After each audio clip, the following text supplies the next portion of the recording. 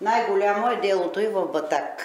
Всъщност Лейди Странгфорд, като жена на лорд Странгфорд, който е бил дипломат в Цариград, той добре познавал българската история. Той умира 75-та година преди априлското възстание и завещава да направи всичко възможно да помага докато е жива на българите. И когато избухва априлското възстание след жестокото потушаване на априлското възстание, Лейди прави една голяма кампания. Тя прави кореспонденция, пише до българските власти, османски. Те отговарят, че няма нищо подобно, че леко са разбунтували българите. Обаче тя решава да дойде да види на място. Прави една голяма кампания, събира средства и идва в България с цел, заедно с тези парламентаристите, които са дошли да описват щетите след априлското възстание, минават по целия район да опишат какво се е случило след априлското възстание. На път за Батак минават и Израдилово, виждат, че селото е напълно пожарено и тя в началото е